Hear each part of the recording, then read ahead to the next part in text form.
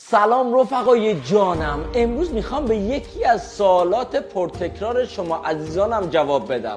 خیلی پرسیده بودین که آیه بسیری ما زمانی که داریم عبارات تأکیدی و تکرار می‌کنیم گاهی وقتا حالمون بد میشه. چیکار کنیم؟ تا آخر این پست رو نگاه کن تا بهت بگم چیکار کنی.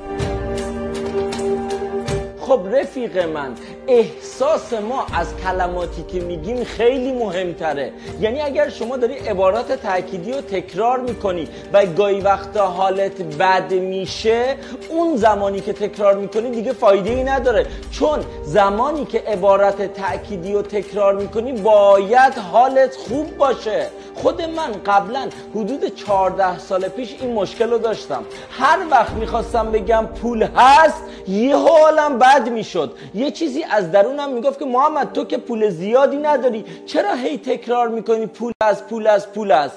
بعد به یک روش فوقالعاده دست پیدا کردم. روشی که پیدا کردم چی بود؟ زمانی که می‌خواستم عبارات تأکیدی رو تکرار کنم قبلش. به خاطر هفت تا از نعمتهای زندگیم خداوند بزرگ رو شکر می‌کردم و بعد حالم عالی می‌شد و بعدش عبارات تأکیدی رو تکرار می‌کردم.